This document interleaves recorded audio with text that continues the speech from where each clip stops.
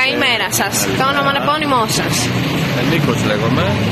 Κύριε Νίκο, χθες το βράδυ, περίπου στη 1 και 20, είχαμε μία, ναι, είχαμε μία παράσυρση μιας 21χρονη κοπέλας.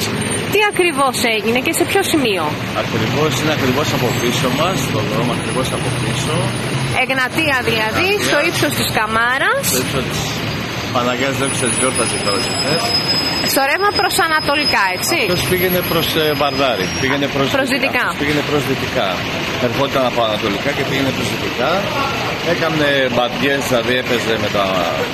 Έκανε τέτοιο μπαντιές, πώς το λένε. Έτρεχε. Τέτοια, έτρεχε.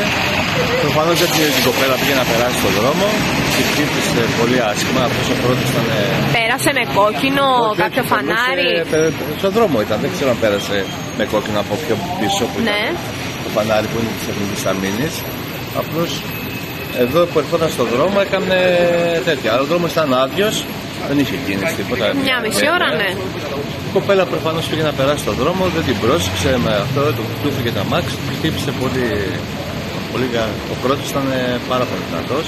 Ακούσατε δηλαδή εσείς πολύ Εγώ φασάρι. ακούσα μόνο τον πρώτο. Όταν βγήκα έξω τον είδα να φεύγει. Και το φωνάζαμε σταμάτα, σταμάτα. Η κοπέλα ήταν πεσμένη κάτω. Ευτυχώ ακόμη ζει. Άρα δεν Ε, στείλαμε- σταμάτησε στείλαμε- καθόλου. Δεν σταμάτησε στα- με το που έγινε αυτό, έφυγε απευθείας. Ε, στείλαμε δύο μηχανάκια πας και τον προλάβουν να το βρούνε γιατί α, μέχρι να καταλάβουμε τι γίνεται και αυτά πέρασε κανένα λεπτό. Στείλαμε δύο μηχανάκια και είδαμε που έστριψε, έφυγε από την ασονίδα πάνω. Δεν το βρήκαμε. Ε, φωνάξαμε στην οφόρα, αστυνομία. τα- Παρατηρήσατε καθόλου το αυτοκίνητο, αν είχε πινακίδες, τι χρώμα Είχε ήταν. πινακίδες, πήραν τα παιδιά.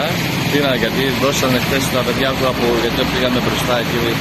Δώσαν τις αστυνομίες πινακίδες και αυτά. Εδώ τα μάξε το.